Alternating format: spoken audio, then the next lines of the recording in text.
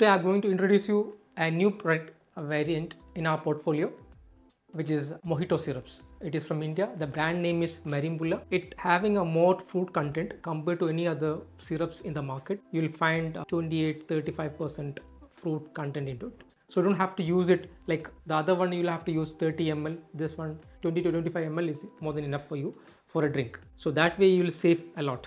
We are going to have 1000 ml bottle which is in pet bottle. We're going to launch that soon. At the moment we have 750 ml glass bottle.